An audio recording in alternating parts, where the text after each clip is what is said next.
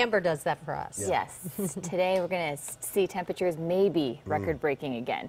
But you, you'll notice that there's a difference. We have the clouds overhead. So the clouds could thwart our records today.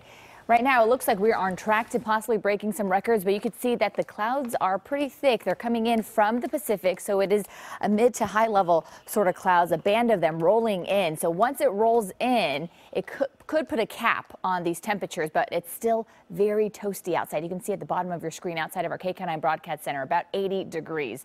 All right, with the WeatherCam network, you can see that we started off with some thicker clouds, and then now we're starting to see the clouds thin out, and we're seeing much more of the sunshine and the blue sky. So this definitely could help as we head into the afternoon if we are looking to see uh, for, for, some records to be broken. Otherwise, temperatures right now mainly in the 80s and 70s, except in the mountains, a little bit cooler at about 55. But overall, the winds have definitely calmed down. We don't have any warnings, don't have any advisories. We just have some light to calm winds across the Southland, and temperatures remain above average. You can see we've been trending uh, above average since Saturday. Normally we should be in the upper 60s for downtown LA. We're looking at high possibly about 84 degrees.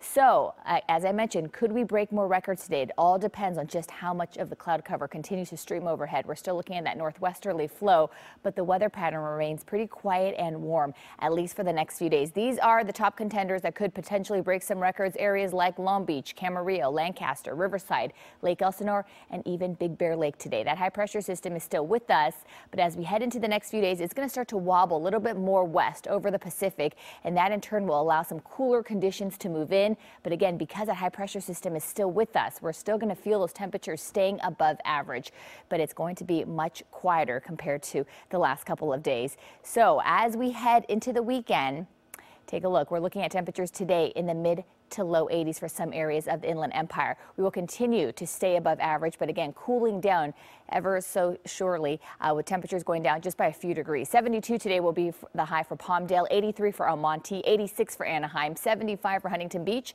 and for the San Fernando Valley, expect temperatures to stay in the 80s today. 82 for Northridge, 82 for Simi Valley, even 81 for Santa Monica, even though we do have some high clouds, some overcast conditions. By the time we head into tomorrow, as I mentioned, we will slowly start to cool down. Temperatures dropping a little little bit more to the 70s. We'll still stay in the 70s, though, for our beach communities through the beginning of next week, but it's not until possibly the middle of next week where things really start to cool down. That high pressure system, though, is staying with us for the next seven days. Back to you. Amber, thank you. Thanks, Amber.